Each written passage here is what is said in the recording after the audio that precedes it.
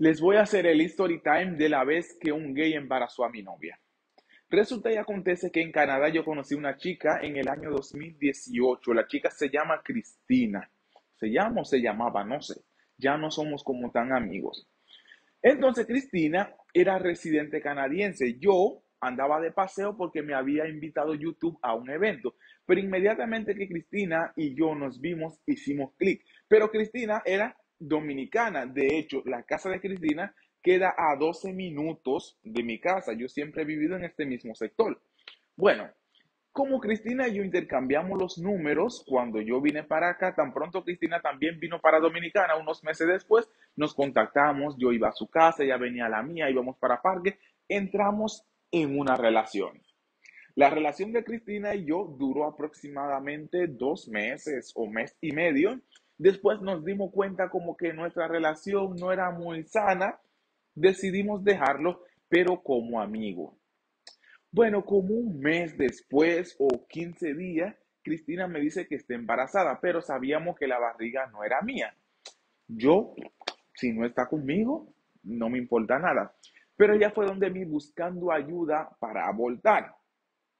Yo soy de las personas que no voy con esto del aborto, al menos que haya una justificación, pero muy, muy, muy buena. No dice que por usted no sacarlo a tiempo, o no usar preservativo, o no tomarte una pastilla anticonceptiva, eh, matar una vida.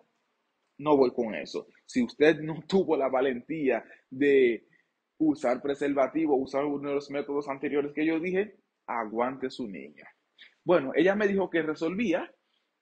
Está bien, ella en verdad fue y abortó. Bien, a mí no me importó esa cosa porque cada quien hace con su vida lo que le da la gana. Yo le preguntaba de quién era la barriga, pero ella nunca me decía. En su casa yo sabía que vivían dos hombres, pero son dos hombres. Uno era su hermano y el otro un venezolano homosexual. Como no estaba conmigo, ya no me importaba saber de quién era el papá, pero yo sabíamos que no era mío.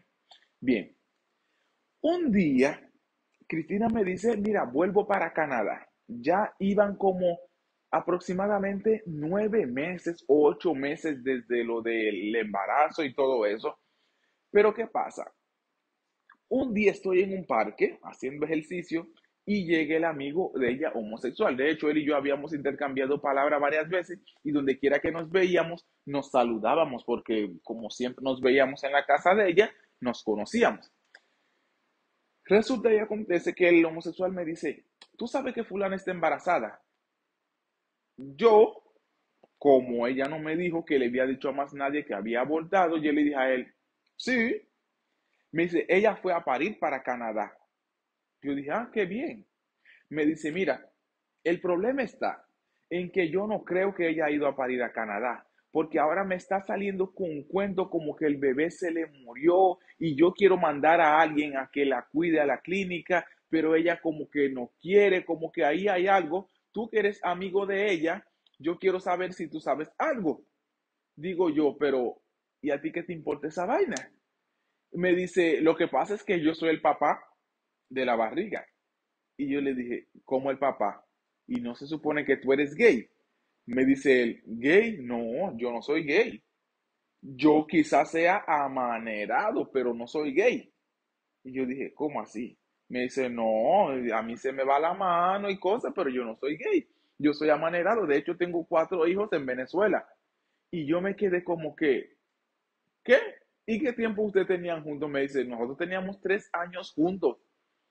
Y yo me quedé como que, todo el tiempo que ella y yo duramos de la relación, casi dos meses, ustedes también estaban juntos, pero no se lo dije. ¿eh? Y yo me quedé como que, ¿qué? Y después yo me puse a averiguar. El bendito venezolano era más mujeriego que el carajo. Y yo, pero Dios mío, ¿cómo nunca yo vi esas cosas?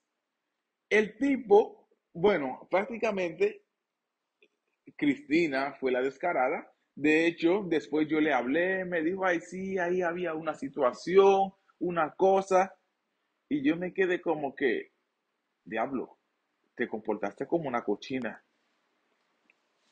Pero bueno, ese era el story time de la vez que el carajo venezolano, que yo pensaba que era homosexual. De hecho, por eso es que no podemos juzgar por la condición, ¿eh? porque yo veía el tipo como muy guay, guay, guay. Yo dije, no, no, no, ese es homosexual, homosexual. Homosexual, coño. ah, sí.